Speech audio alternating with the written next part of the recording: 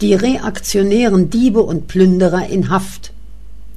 Am Samstag, den 26. April 1919 nachmittags wurden in dem hochvornehmen Hotel Vier Jahreszeiten eine gemeingefährliche Bande von Verbrechern und Verbrecherinnen durch die Organe der Räteregierung abgefasst und in Haft genommen. Es waren durchwegs Damen und Herren der sogenannten guten Gesellschaft. Ein Oberleutnant und eine Gräfin war auch dabei. Diese Leute haben militärische Stempel nachgemacht und gefälscht und zu Diebstählen und Plünderungen größten Stils benützt, indem sie Beschlagnahmungen durchführten. Sie haben riesige Mengen von Waren aller Art beschlagnahmt und auf dem Lande bei den Bauern räuberisch Vieh requiriert. Diese Verbrecher sind Erzreaktionäre, Agenten und Zutreiber für die Weißen Garden, Hetzer gegen die Räterepublik, die den Schieberunwesen rücksichtslos zu Leibe geht und den Schiebern und Kriegsgewinnlern deshalb aufs Blut verhasst ist. Natürlich haben sie die Räterepublik als Anstifter und Verüber dieser Plünderungen ausgeschrien und damit Glauben gefunden, weil ja die Ausgeplünderten nicht wissen konnten, dass sie von den Verbrechern mit Hilfe gefälschter Stempel vergewaltigt wurden. Der Name Egelhofer wurde durch Fälschung seines Faksimiles missbraucht, die wohl berechnende Absicht war, sich falsche Ausweise zu verschaffen, um im Namen Egelhofers und der Regierung Verbrechen zu begehen und dadurch zugleich sich selbst zu bereichern und die Räteregierung verächtlich und verhasst zu machen. Das Faksimile, der Stempel mit dem Namen Egelhofer, ist ungültig. Gültig allein ist die eigenhändige mit Tinte geschriebene Unterschrift. Damit ist der verbrecherische und hochverräterische Plan durchkreuzt und abgewehrt. München, den 27. April 1919, R. Egelhofer. Es hieß nun noch, die gefangenen Thule-Leute an den Ort zu bringen, wo sie für die Mörder erreichbar waren, in das Luitpold-Gymnasium. Das war der einzige Ort, wo die geplante Tat ausgeführt werden konnte. Seidel, der dort das Kommando führte, holte die Gefangenen im Polizeipräsidium ab und verbrachte sie nach dem Gymnasium. Der Transport erfolgte zu Fuß. Daumenlang versuchte zu fliehen, wurde aber eingeholt und blutig geschlagen. Die Thule-Leute wurden mit anderen dort gefangen gehaltenen Leuten nachts in einen Keller gesperrt, am Tage mussten sie Kartoffeln schälen. Die Gräfin Westharp wurde gezwungen, Stuben zu reinigen und musste in einem Verschlage der Wachstube schlafen. Am 28. April 1919 zog sich der Ring um München enger und enger. Am 29. war bereits Starnberg nach kurzem Kampfe genommen worden Fürstenfeldbruck war in den Händen der Regierungstruppen, es war Zeit, an die Ausführung der Tat zu gehen. Axelrod floh an diesem Tage mit Hilfe des Polizeipräsidenten Meyer Günther, aber am Abend vorher fand im Luitpold-Gymnasium noch eine Zusammenkunft der drei Juden statt, der eine nächtliche Opferschau folgte.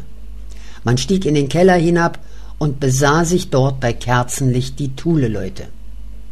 Zu ihnen war noch Prinz Thurn und Taxis gekommen, den Seidel im Parkhotel festgenommen hatte. Am 29. April war bei einem Erkundigungsritt der Baron Teuchert vom Regensburger Freikorps gefangen genommen worden, und da sein Name in den Listen der Thule-Gesellschaft stand, wurde er von der Stadtkommandantur nach dem Luitpold-Gymnasium gebracht. Man hielt dort nun sieben Mitglieder der Thule fest. Es galt noch die Bestie zu wecken, und dazu benutzte man die zwei Weißgardisten, die beiden Husaren, die an der Front gefangen genommen waren. Der Pöbel wurde dadurch aufgehetzt, dass man die tollsten Märchen verbreitete. Seidel erpresste durch Drohungen von den beiden Husaren Aussagen, die er sofort in Druck gab und anschlagen ließ. So war das Verbrechen vorbereitet, so wurde es ausgeführt. Am Morgen des 30. April 1919 vormittags um 10 Uhr wurden die beiden Husaren an die Wand gestellt. Es mögen nun die beiden polizeilichen Bekanntmachungen, der offiziöse Bericht der Agentur Hoffmann, ein Bericht aus ein Jahr bayerischer Revolution im Bilde und die Anklagerede des ersten Staatsanwaltes Hoffmann folgen, die im Mordprozess gehalten wurde. Bekanntmachung 1 Die bestialische Tat vertierter Menschen, die Erschießung von Geiseln im Luitpold-Gymnasium, muss raschest ihre verdiente Sühne finden. Das Polizeipräsidium erachtet es als seine heiligste Pflicht, alle Beteiligten ihrer verdienten Strafe zuzuführen. Um den Tatbestand einwandfrei festzustellen, werden alle Personen bei Androhung der Strafe aufgefordert, zweckdienliche Angaben zu machen. Insbesondere sollen alle Soldaten namentlich gemacht werden, die unter ihrem Kommandanten im Luitpold-Gymnasium gedient haben, damit ein einheitliches Bild über diese Unmenschen geschaffen wird. Schriftliche oder mündliche Aussagen werden täglich im Polizeigebäude Edstraße entgegengenommen, Zimmer 365. München, 3. Mai 1919, der Polizeipräsident Vollenhals.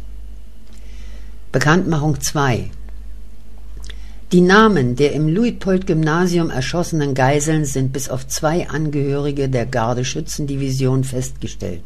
Es sind dies Walter Nauhaus aus München, Baron Karl von Teuchert aus Regensburg, Wilhelm von Seidlitz aus München, Walter Deike aus München, Gräfin Heiler von Westarp aus München, Prinz Gustav Maria von Thurn und Taxis aus München, Anton Daumenlang aus München, Professor Berger aus München.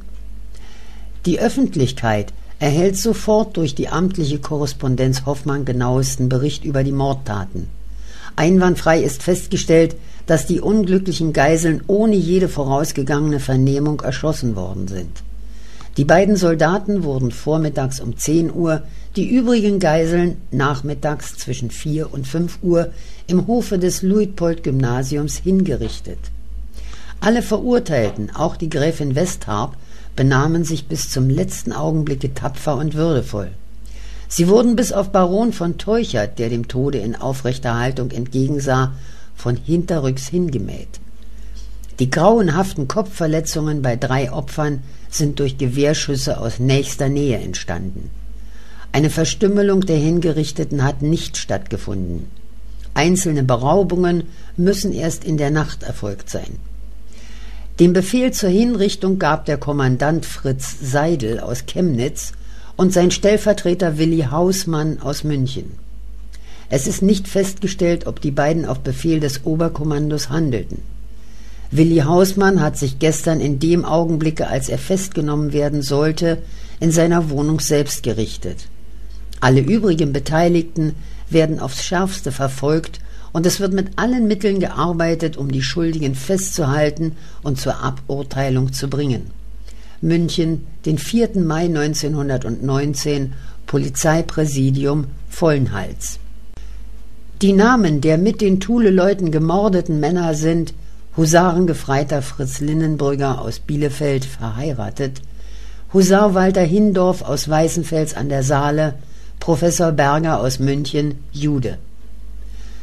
Amtliche Darstellung der Korrespondenz Hoffmann In den Abendstunden des 30. April verbreitete sich in München wie ein Lauffeuer das Gerücht, dass im Luitpold-Gymnasium Geiseln erschossen worden sind und dass diese verstümmelt waren. Die Polizeidirektion, die zu dieser Zeit nach Abzug des kommunistischen Polizeipräsidenten Meyer Günther durch einige beherzte Beamte der Militärpolizei besetzt worden waren, nahm sofort unter Leitung des Polizeipräsidenten Vollenhals als erster die Klärung des Tatbestandes auf über die Erschießung der zehn Geiseln. Am 1. Mai früh wurden die Leichen in das gerichtlich-medizinische Institut gebracht und es wurden eingehende Erhebungen zur Feststellung der Leichen eingeleitet. Die Schillerstraße lag vollkommen unter dem Feuer der Spartakisten, die dort zwei schwere Maschinengewehre und ein Geschütz aufgefahren hatten, und es war den Beamten nicht möglich, in das gerichtlich-medizinische Institut zu kommen. Der Versuch wurde mehrmals in der Nacht wiederholt und man versuchte mit den damals zur Verfügung stehenden schwachen Kräften die Zufahrtsstraße zur Schillerstraße zu nehmen. Da keine Verstärkung von auswärts kam, konnte man noch nicht vorstoßen. In den Morgenstunden wurde dann die Schillerstraße frei. Sofort begannen die Agnoszierungen. Mittlerweile wurde der Tatbestand durch sehr zahlreiche Zeugen protokollarisch festgestellt, nach übereinstimmenden Aussagen spielte sich die Erschießung der Geiseln folgendermaßen ab.